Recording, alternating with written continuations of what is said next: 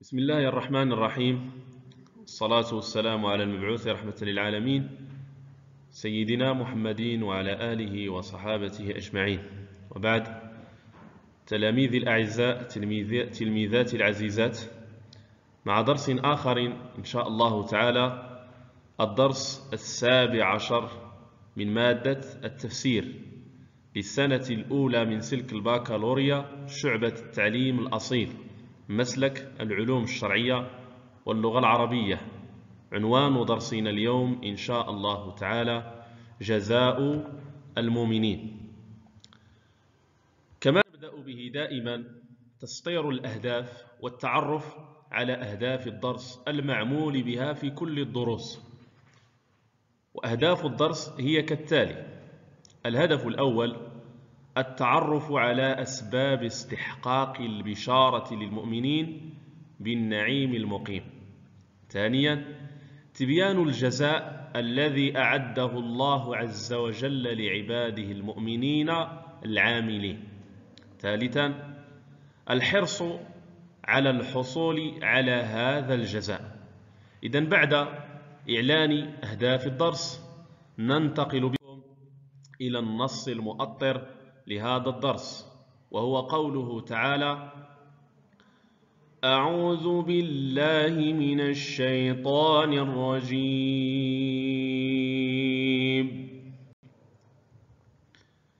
وبشر الذين آمنوا وعملوا الصالحات أن لهم جنات تجري من تحتها الأنهار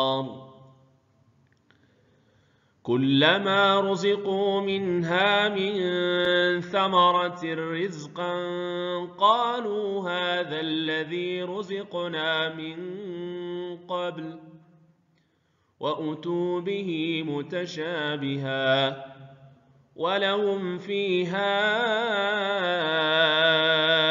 أزواج مطهرة وهم فيها خالدون.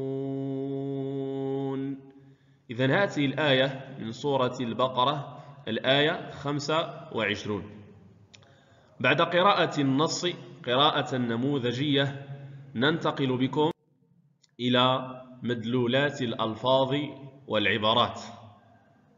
والعبارات هي كالتالي وبشر من البشارة. والبشارة هو الخبر الصار المفرح. وبشر الذين يعمل وبشر المؤمنين الذين يعملون الصالحات. أن لهم جنات. جنات هي حدائق ذات شجر ومساكن. الكلمة الأخرى وأتوا به متشابها أي يشبه بعضه بعضا في الحس في الحسن عفوا واللذة. مطهرة خالية من كل دنس وقذر حسا ومعنى. بعد شرح مدلولات الألفاظ والعبارات ننتقل بكم أعزائي التلاميذ إلى مضمون هذه الآية. التي يقول فيها سبحانه وتعالى وبشر الذين آمنوا وعملوا الصالحات أن لهم جنات تجري من تحتها الأنهار. بيان بعض مظاهر النعيم المقيم الذي أعده الله تعالى في الجنة للمؤمنين الذين يعملون الصالحات.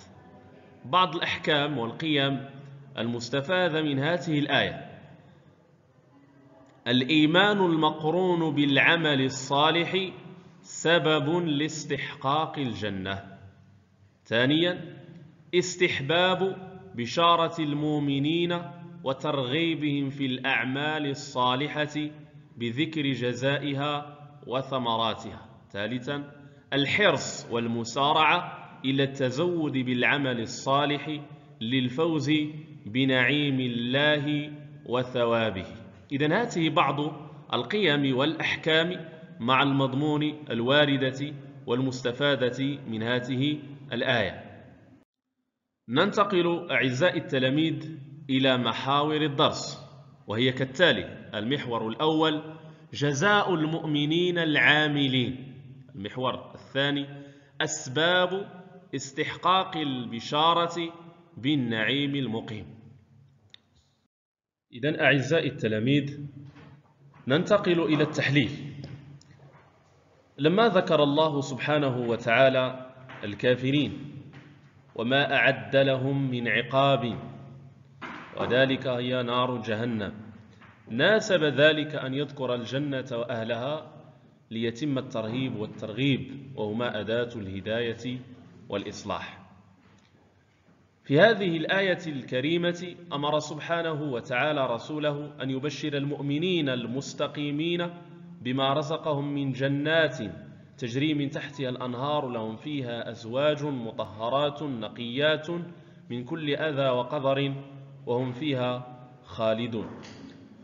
ونستخلص من الآية كذلك أن كل من مات مشركا أو كافرا بالله فلن يدخل الجنة وإنما يدخل النار.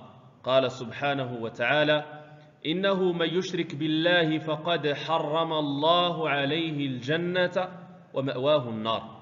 هذه الآية في سورة المائدة الآية 72 كما أن أهل الجنة الذين يستحقونها هم المؤمنون بالله ورسوله ولهم صفات من اتصف بها دخل الجنة. وقد ذكر الله هذه الصفات في سورة المؤمنون حيث قال سبحانه وتعالى بعد أعوذ بالله من الشيطان الرجيم بسم الله الرحمن الرحيم قد أفلح المؤمنون الذين هم في صلاتهم خاشعون والذين هم عن اللغو معرضون.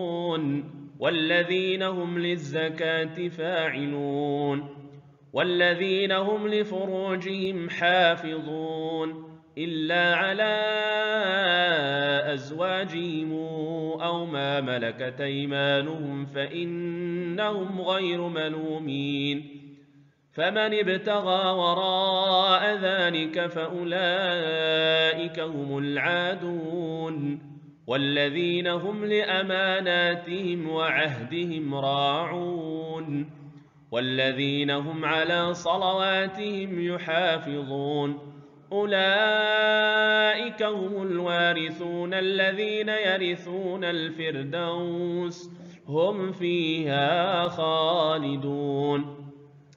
إذا من خلال هذه الآيات التي تلوت عليكم من سورة المؤمنون تتبين صفات المؤمنين وهي الإيمان مع العمل. قد أفلح المؤمنون الذين هم في صلاتهم خاشعون. وقد ذكر الله تعالى أن من صفات المؤمنين محافظتهم على الصلوات والذين هم على صلواتهم يحافظون. إذا إقامة الصلاة والمحافظة عليها من الأعمال الصالحة التي تنال بها الجنات النعيم المقيم بإذنه سبحانه وتعالى. ومن صفات المؤمنين كذلك ترك اللغو من الكلام وهو كل ما زاد عن حده ولا فائدة من ورائه. وما أكثر الأعمال الصالحة التي نحن محتاجون إليها. فتلك الأعمال الصالحة هي سبب في الدخول إلى الجنة. فالجنة أعزائي التلاميذ تنال بالإيمان والعمل الصالح. ولا تقتصر على الإيمان فقط بل لا بد من الإيمان مع العمل الصالح كما قال سبحانه وتعالى وبشر الذين آمنوا وعملوا الصالحات أن لهم جنات تجري من تحتها الأنهار. وقيل أن الجنة تنال بالإيمان والدرجات تستحق بالأعمال الصالحة. الدرجات تستحق بالأعمال الصالحة لكي يرقو الإنسان أو المسلم غدا يوم القيامة في جناته لا بد له من الأعمال الصالحة. إذا شرط الجزاء الإيمان مع العمل الصالح. ننتقل إلى أسباب استحقاق البشارة بالنعيم المقيم. قد تطرقنا إلى ذلك وهو استحقاق نيل النعيم المقيم في الآخرة هو الإيمان مع العمل الصالح. قال سبحانه وتعالى وبشر الذين آمنوا وعملوا الصالحات أن لهم جنات تجري من تحتها الأنهار. والجنة طبعا هي البستان ذي شجر كثيف ملتف الأغصان. ثم صارت اسما شرعيا لدار النعيم في الآخرة وهي درجات كما تعلمون. والأنهار أنهار الماء واللبن والعسل كما وصفها سبحانه وتعالى فيها أنهار من ماء غير آسن وأنهار من لبن وأنهار من عسل مصفى إلى آخر الآيات. كما رزقوا كلما رزقوا منها من ثمرة رزقا قالوا هذا الذي رزقنا من قبل. هؤلاء المؤمنون غدا يوم القيامة كلما رزقوا شيئا من هذه التمرات قالوا قد رزقنا ذلك من قبل. كما أخبر سبحانه وتعالى أنهم أوتوه متشابها في اللون غير متشابها في الطعم زيادة في حسنه وكميله وكماله وعظيم الالتذاذ به.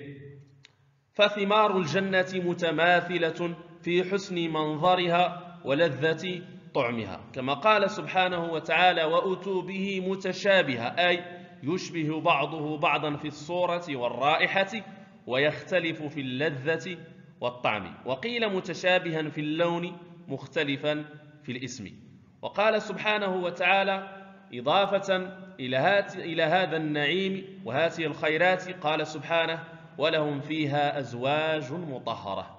أي غاية الطهر من كل دنس وقذر حسا ومعنى مطهرات الأخلاق مطهرات الخلق واللسان والأبصار. لا يعتريهن أي نقص مما يعتريهن في الدنيا. هذه الآية فيها مبشر ومبشر ومبشر به. فالمبشر هو رسولنا الكريم محمد صلى الله عليه وسلم. وبشر الذين آمنوا. المبشر هم المؤمنون العاملون للصالحات.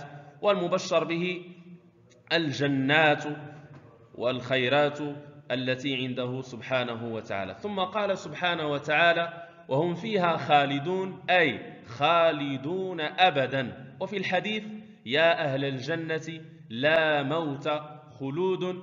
كما رواه هذا الحديث الإمام البخاري في صحيحه. بعد هذا التحليل تلاميذي الأعزاء ننتقل بكم إلى هدايات الآية وإرشادات هذه الآية. أولا فضل الإيمان والعمل الصالح. فضل الإيمان والعمل الصالح. إذ بهما كان النعيم المذكور في الآية لأصحابهما فبفضل الإيمان والعمل الصالح كان النعيم المذكور في الآية لأصحابها. ثانيا تشويق المؤمنين إلى دار السلام وما فيها من نعيم مقيم ليزدادوا رغبة فيها وعملا لها بفعل الخيرات وترك المنكرات. إلى ها هنا تلاميذ الأعزاء انتهى درسنا ومع درس آخر في حصة أخرى إن شاء الله تعالى والسلام عليكم ورحمة الله وبركاته.